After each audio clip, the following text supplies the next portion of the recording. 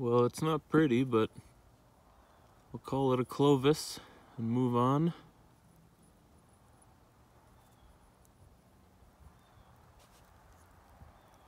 It's pretty rough looking. Usable.